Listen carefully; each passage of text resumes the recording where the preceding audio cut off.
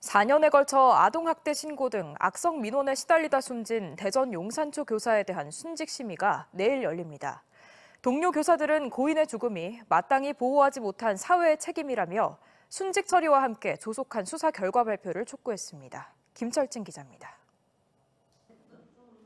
지난해 9월 학부모들의 악성 민원에 시달리다 숨진 대전 용산초 교사 A씨.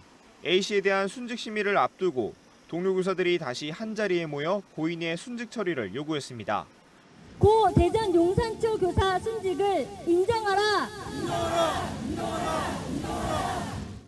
전국 교사노조는 내일 순직심의위원회가 열리는 세종 인사혁신처 앞에서 기자회견을 열고 순직 인정이 고인의 명예회복을 위한 최소한의 도리라고 강조했습니다.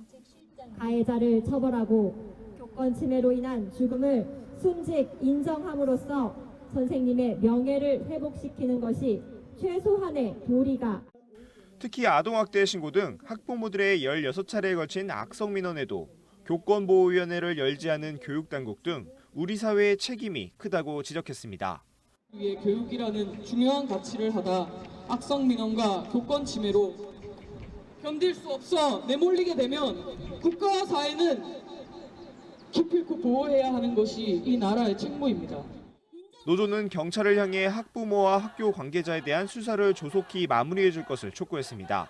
앞서 경기 의정부 호원초 교사 사망 사건의 경우 순직은 인정됐지만 학부모와 학교 관계자에 대한 경찰 수사에선 무혐의로 종결돼 우려가 커지고 있는 상황입니다.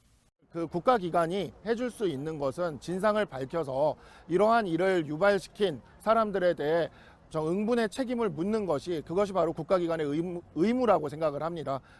대전 경찰청이 고인에 대한 수사가 마무리 단계에 있다고 밝힌 가운데 순직 처리 여부와 경찰 수사 결과에 관심이 쏠리고 있습니다. TJB 김철진입니다.